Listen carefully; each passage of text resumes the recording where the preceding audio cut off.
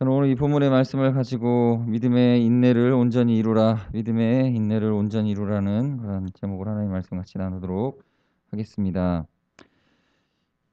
오늘 본문 읽으신 말씀의 4절, 5절, 6절을 다시 한번 우리가 눈으로 어, 같이 보시겠습니다. 4절, 5절, 6절입니다. 함께 읽겠습니다. 시작. 우리 조상들이 주께 의뢰하고 의뢰하였으므로 그들을 건지셨나이다. 그들이 주께 부르짖어 구원을 얻고 주께 의뢰하여 수치를 당하지 아니하였나이다. 나는 벌레요 사람이 아니라 사람의 희망거리요 백성의 조롱거리니이다. 아멘. 어, 성경의 여러 시들 중에는 예수 그리스도를 담고 있는 그러한 내용의 시들이 있습니다. 또 그러한 성경의 기록들이 있습니다. 특별히 오늘 이 시편 22편 4절, 5절, 6절에 나오는 이 목소리에는 구약 시대와 신약 시대를 넘어가면서 이제 예수 그리스도로 말미암아 구원받을 자들, 구원받을 우리들이 중간에 있어야 할 여러 가지 일들을 보여주고 있는 그런 내용 중에 하나입니다. 이스라엘 백성들은 구원받았던 족속입니다. 어떻게 이겼습니까? 하나님이 함께 하셨기 때문에 이스라엘 백성들은 하나님의 도우심을 힘입어서 전쟁에서 승리하고 싸움에서 이겨 나갔습니다. 근데 오늘 나오는 이 시편 기자의 고백에 보면 하나님을 의지하여도 여전히 승리하지 못하고 어려움 가운데 있는 그리스도의 모습 어, 무, 무슨 모습입니까? 예수 그리스도께서 하나님의 뜻대로 온전히 순종하여서도 십자가에 매달릴 수밖에 없었던 그러한 상황과 처지를 보여줍니다. 예, 하나님께 도우심을 구하나 도우심을 얻지 못하고 있는 그런 모습입니다. 예수님 십자가에 달리셨습니다. 그러나 하나님께서는 예수 그리스도를 철저하게 그 저주 가운데 내버려 두셨습니다. 왜 그렇죠? 어, 인류를 구원할 하나님의 그 영적 영원한 단번의 제사를 이루시기 위하여서 여전히 그 수치와 어, 모욕을 감당하고 계신 것입니다. 그런 가운데 있는 모습을 묘사하고 있죠. 예수님이 그렇게 우리를 위해 십자가에 돌아가셨습니다.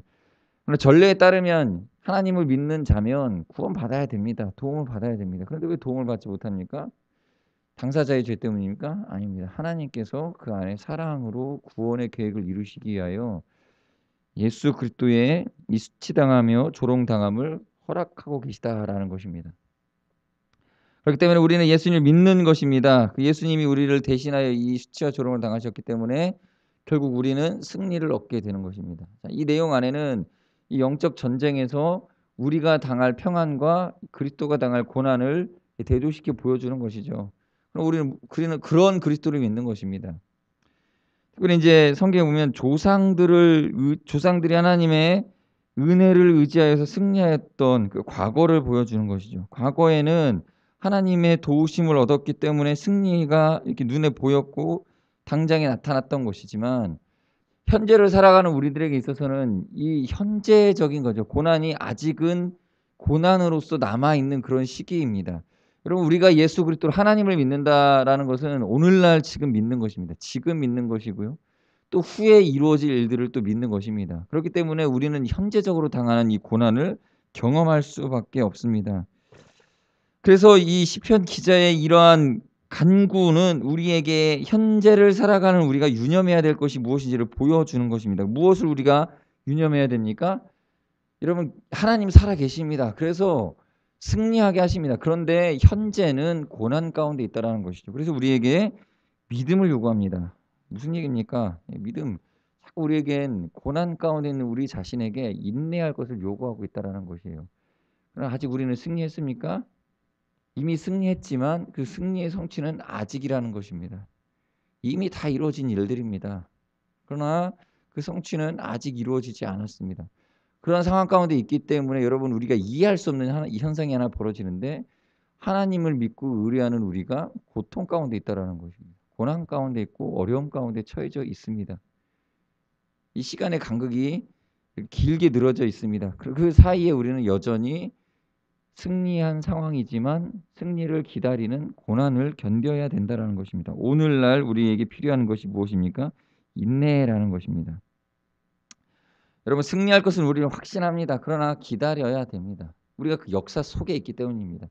자, 우리가 어, 8.15 광복으로 일제 치하에서 벗어났습니다. 우리는 지금은 믿습니다. 지금은 아, 우리가 승리했다, 예, 자유를 얻었다라는 걸 광복을 믿죠. 그 기쁨을 누립니다. 그러나 그, 그 시대 아직 광복을 경험하지 못했던 1945년 이전 시대 1945년 이전 시대였던 1940년대 30년대를 어, 살아갔던 우리 민족 그 조상들은 승리라는 것을 경험하지 못하였습니다. 몇 년 안에 광복되어질 것을 어, 알았더라면 아무도 친일파가 되지 않을 수 있습니다. 그러나 일제 40, 일제 36년의 기간 동안 이제 30년 일제 30년쯤 되었을 때에는 우리 우리 이 사람들의 머릿속에는 아 이게 이길 수 없겠다. 아 이게 일본이라는 나라는 패망하지 않겠 절대로 멸망하지 않을 영원한 나라이겠다. 독립운동 해봐야 아무 소용 없겠다라는 폐색이 짙었습니다. 아 정말 대단한 나라다.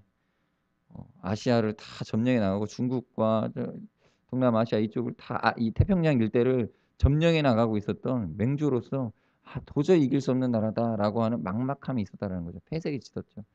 아무리 테러를 저질러도 끄떡없는 흔들리지 않는 그러한 나라였습니다. 그렇기 때문에 그 현재를 견딜 수가 없었던 거죠. 견딜 수가 없습니다. 여러분 생각해 보십시다. 그랬으면 많은 사람들이 그렇게 많은 친일의 행적으로 돌아서는 사람들이 있지 않았을 것입니다. 여러분들 그 친일파 중에 대부분이 어, 나름대로 저항을 하다가 뭐 시인들도 그런 사람들이 있죠. 저항을 하다가 끝내는 돌이켰습니다. 친일의 행적을 경 친일로 돌아섰습니다. 왜 그랬습니까? 아 이게 이길 것이다라는 그런 어떤 이 광복이 올 것이다라는 희망이 전혀 보이지 않았기 때문입니다. 그래서 이제 어 이제 그때 당시 정세가 그랬습니다. 뭐 미국은 미국대로 나눠 가질 그 자기, 자기들의 그 이권에만 치우쳐져 있고 또 동유럽은 유럽대로 전쟁이 거의 이제 종식 그쪽 상황은 그쪽 상황대로 돌아가고 있고 일본은 일본대로 지금 뻗쳐 나가고 있는데 아무도 도와주지 않을 것 같은 뭐 그런 상황이었겠죠. 그러니까 포기하는 겁니다. 포기하려고 했던 거죠. 그런데 그때 어떻게 어떤 사람들이었습니까? 그냥 끝까지 인내로서 그냥 견뎌냈던 사람들이 있었던 것이죠. 그죠? 그저 예, 때가 되면 어, 정말 어떻게 될지 모르지만 우리나라는 어, 대한민국은 대한민국이다. 정부를 세워놓고 버티는 사람들이 있었던 것입니다. 시편 기자는 지금 견디고 있습니다. 승리를 믿음으로 기도하면서 버티고 있는 것이죠. 이 사람은 이 시편의 기자는 지금은 힘들지만 역사 속에 역사 의식이 있는 것입니다. 하나님이 과거 조상들을 통해서 구원하셨습니다. 그러나 지금 나는 이 어려움 가운데 있습니다. 그러나 하나님이 또 구원하실 것을 나는 믿습니다. 왜? 지금은 믿을 수 없는 상황이지만 그때 하나님께서 이 역사 속에서 그들을 결국 승리하게 하시고 이기게 하셨기 때문에 나는 하나님이 나를 도우실 것을 믿습니다라고 고백하며 하나님을 의지합니다. 그래서 11절부터 15절까지의 말씀 우리가 함께 읽어보도록 하겠습니다. 11절부터 15절까지입니다. 시작. 나를 멀리하지 마옵소서 환란이 가까우나 도울 자 없나이다. 많은 황소가 나를 에워싸며 바산의 힘센 소들이 나를 둘러쌌으며 내게 그 입을 벌림이 찢으며 부르짖는 사자 같으니이다. 나는 물같이 쏟아졌으며 내 모든 뼈는 어그러졌으며 내 마음은 밀랍 같아서 내 속에서 녹았으며 내 힘이 말라 질그릇 조각같이 내 혀가 입천장에 불, 불 붙었나이다. 주께서 또 나를 죽음의 진토 속에 두셨나이다. 어떻게 견디고 있습니까? 지금의 이 고통 속에서 이 불, 이 마음에 있는 불평, 원망, 이런 원망으로 불평으로 나올 수 있는 그러한 현재 자신의 처지를 기도로 승화하고 있습니다. 이렇게 힘들고 어려우면 누구나 다 입을 여서 불평과 원망을 쏟아낼 수밖에 없는 상황인데 여러분 보십시오. 이 기도가 불평 원망으로 건너가기 직전에 나오는 그러한 기도죠. 그 원망의 선을 넘어서지 않고 이 끓어오르는 마음을 하나님 앞에 호소로서 호소하는 거죠. 원망하는 것이 아닙니다. 호소하는 것입니다. 하나님 도와주십시오. 내가 이렇게 견디기 힘듭니다. 그래서 이 불평의 원망의 유혹으로부터 이겨나가는 그러한 기도를 했다라는 것입니다. 우리가 시편을 읽다 보면 어떻게 이렇게 기도할까, 어, 이렇게 어떤 시, 이런 시가 나왔을까 싶은데 사실 이 시는 이 믿음으로 승리 이겨 나가고 있는 견뎌 나가고 있는 것입니다. 믿음으로 승리할 수 있도록 하나님 도와주십시오라고 그저 정말 애처롭게 소리 지르고 있는 것입니다. 16절부터 19절도 이어서 읽어보시면요. 예, 똑같은 말입니다. 하나님 나를 구원해 주십시오. 이 괴로움 가운데서 나를 이 세력 가운데서 구원하여 주십시오라고 기도하는 것입니다. 우리 인생에는 이 현재를 살아가고 있기 때문에 이 마귀가 있기 때문에 경험하는 괴로움과 고통이 있습니다. 불 같은 시험이 있습니다. 이걸 견뎌낼 수 있겠습니까? 여기 성경에는 20절에 보면 개의 세력이라고 되어져 있습니다. 약한 것들의 세력, 더러운 세력들이 있다라는 것입니다. 그래서 우리를 예, 이 괴로움 가운데 예, 일정 부분 우리가 괴로움을 당할 수밖에 없는 것입니다. 그러나 이 상황 이러한 상황 가운데서도 궁극적으로 결국 승리한다라는 거예요. 결국 승리합니다. 결국. 왜냐하면 이미 승리했기 때문입니다. 여러분 이 결국적으로 승리하는 것은 이미 승리한 승리가 있기 때문에 우리가 믿고 나아가는 것입니다. 예수 그리스도께서 2000년 전에 십자가상에서 승리하셨습니다. 우리도 그 싸움 가운데 동참하고 있습니다. 그래서 우리는 지금 당하는 괴로움이 후에 있을 승리를 보장하고 있는 것입니다. 21절, 22절 다 같이 읽어보겠습니다. 21절, 22절 시작. 나를 사자 입에서 구하소서 주께서 내게 응답하시고 들소 뿔에서 구원하셨나이다. 내가 주의 이름을 형제에게 선포하고 회중 가운데서 주를 찬송하리이다. 시편 기자는 지금 너무나 힘든 거예요. 그런데 믿음으로 이미 선포해 버립니다. 구원하셨습니다라고 선포하고 있습니다. 구원하셨습니다. 이미 구원받은 어떤 경험을 했는지 모르겠지만 구원의 확신이 들어와 있고 믿음으로 그것을 믿게 되어졌습니다. 하나님이 나를 구원하실 것이다. 그래서 그것을 선포하고 찬양합니다.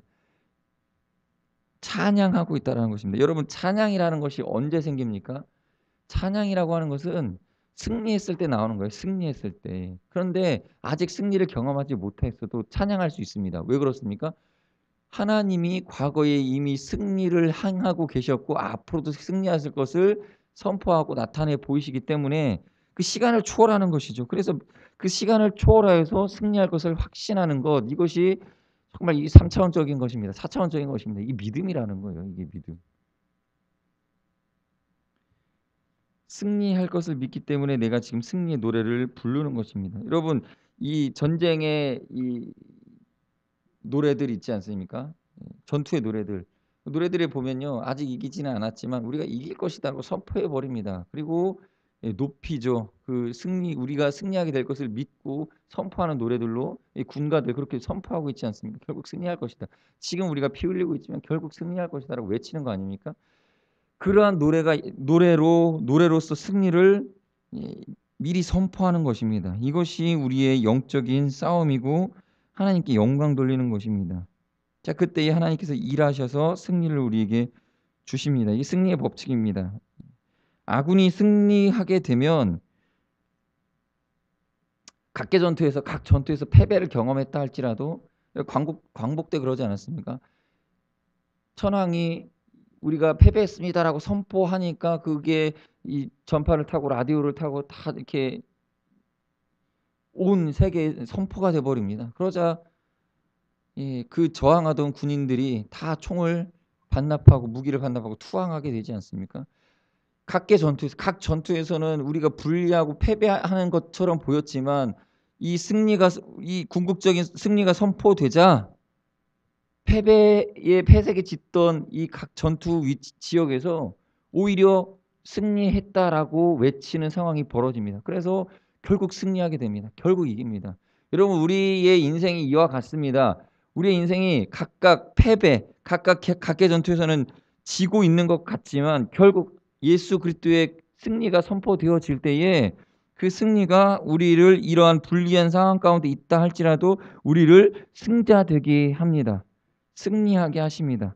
여러분 우리가 예수님의 이름을 우리의 이 삶 가운데 선포하게 되어지면 우리 삶 자체는 죄악 가운데 범죄 가운데 패배 가운데 있다 할지라도 결국은 승리자가 되어지는 것입니다. 그 승리자의 편에 속해 있다라고 하면 우리는 결국 이기게 된다라는 것입니다. 결국 우리에게 필요한 건 무엇입니까? 하나님 편에 속해 있어야 된다는 것입니다. 아무리 우리가 연약하고 힘든 상황 가운데 놓여 있다 할지라도 내가 하나님 편에 있다면 하나님이 내 안에 계시고 내가 하나님 편에 있다면 결국 승리하게 된다라는 것입니다. 그러므로 오늘 살아가는 우리 성도님들은 이 믿음으로써 인내해야 되는 것입니다. 믿음의 인내가 필요하다는 것입니다.